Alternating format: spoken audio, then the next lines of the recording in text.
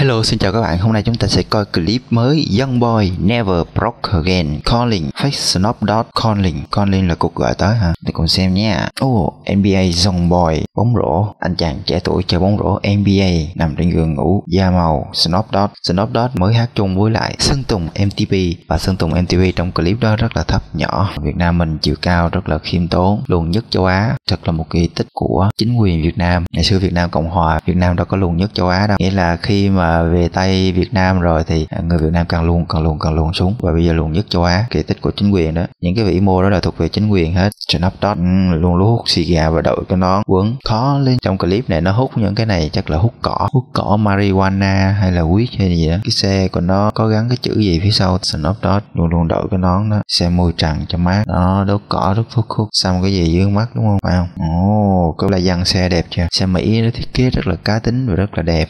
Nhưng mà hiệu năng và bền bỉ thì người ta vẫn đang chuộng xe Nhật hơn và hiện tại Tesla một hãng của xe Mỹ và ông chủ đến từ Nam Phi Elon Musk đã vượt qua Toyota xe điện oh, ghê không cơ bắp muscle và đeo cái dây chuyền rất là to gì rất là bự ngồi trong giường mà hát tôi thui hát Ơ, có công nước dọc giường luôn à cái chữ gì trên cái xe ta xe này xe hiệu gì Cadillac à Chevrolet xe cổ điện cỡ trần chạy ngoài đường à vô cái bãi chiếu phim đúng không bãi chiếu phim dành cho xe hơi đúng không oh my god giơ súng lên thằng thằng thằng thằng thằng thằng thằng thằng thằng thằng thằng văn hóa của những cái quốc gia ô tô thì có những bãi chiếu phim dành cho xe hơi và hai người sẽ lái vào đó có thể là nam nữ hay couple gì đó lái vào đó chiếu phim lên màn ảnh rộng và ngồi coi. Còn Việt Nam thì chỉ là những cái đội chiếu bóng của à, tuyên truyền viên ấy của những cái dân vận tuyên truyền viên về, về chiếu những cái phim phim đỏ phim mang tính tuyên truyền nhồi sọ ra những cái bãi cỏ và ngồi đó ngồi lên cổng thơ mộng nhưng mà nội dung phim hoàn toàn khác nhau. Nội dung phim tuyên truyền đỏ nhồi sọ nó khác với nội dung những cái phim hot Âu Mỹ lái xe ô tô rồi oh, wow. Đứng trên xe và áo vàng giang tay ra rất là bự siêu bự không? Yeah. đi xe gặp mấy thằng ấy,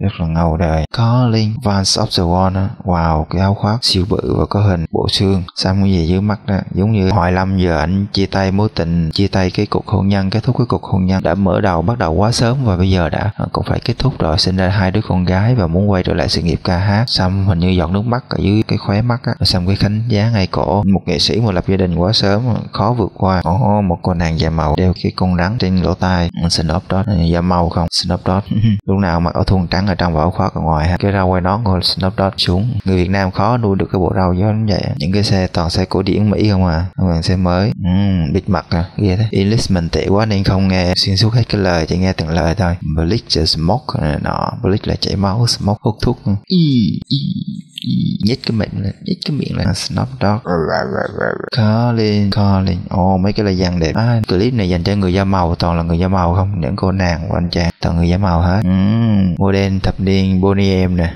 Tóc xù và kính vàng vintage. Ồ oh, la dàn đẹp chưa? Chiếu mấy cái la dàn của những cái xe rất là đẹp. Uhm, hút cỏ cậu. Marijuana. Bồ đà marijuana hình như ở Mỹ đã được hợp pháp rồi cho nên nó lên clip nó vô kịch. Được ok. Rồi hết rồi. Xin cảm ơn các bạn đã coi clip anh chàng khoe xe khoe dây thank you for your watching. Like and subscribe me please I love you. Thank you my friend. Thank you for watching my clip. I appreciate you. I respect you. I respect you. I respect you. Like B bye. Bye bye bye